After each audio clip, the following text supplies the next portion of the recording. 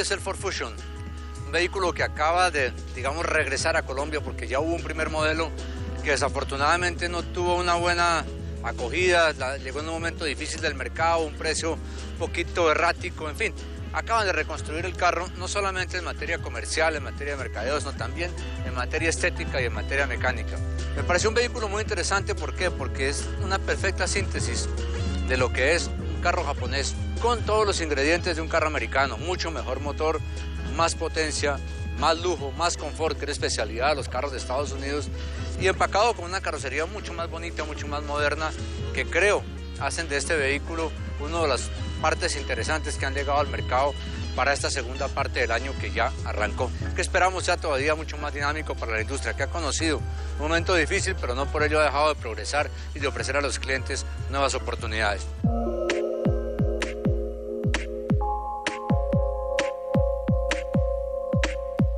En la parte trasera vemos muy bien lo que es la fusión de un carro de tipología mecánica japonesa, europea, con lo que es una arquitectura de un carro de Estados Unidos, un típico Ford, se ve grande, voluminoso, materiales son livianos, el cromo está presente en algunas partes como decoración importante y podría resaltarles a ustedes que aquí hay una palabrita interesante, Ford Conecta, cosa que ya veremos en el interior del carro, que es un nuevo sistema que trae este vehículo desarrollado con Microsoft y los sensores de reverso que ya comienzan a ser un equipo de norma en todos los carros.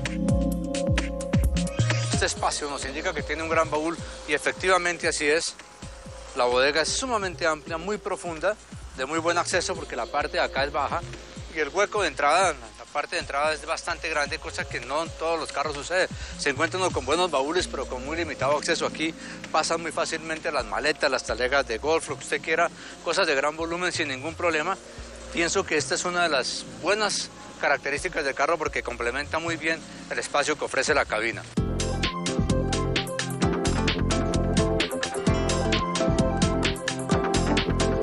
El Fusion pesa algo más de 2 toneladas y mide casi 5 metros de largo, 4.8.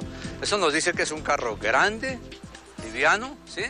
muy espacioso y cuya línea lateral es muy fluida, muy bonita, muy bien concebida. Eh, diría que la aerodinámica, el, desarrollo de las líneas es uno de los encantos de este carro que me, pareció de verdad muy interesante que lo hubieran logrado para hacer la, la mezcla de las culturas.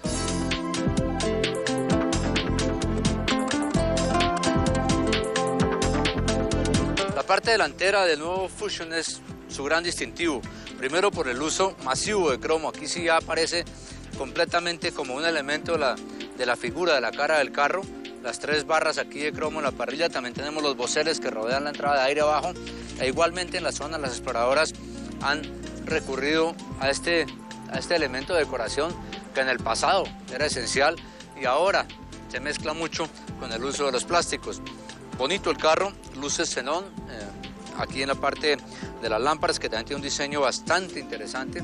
Es decir, hoy en día trabajan mucho todos los elementos y pensaría que cuando usted venir este carro tiene una imponencia y una figura que sin duda alguna eh, lo hacen pensar a uno, ahí viene un aparato interesante.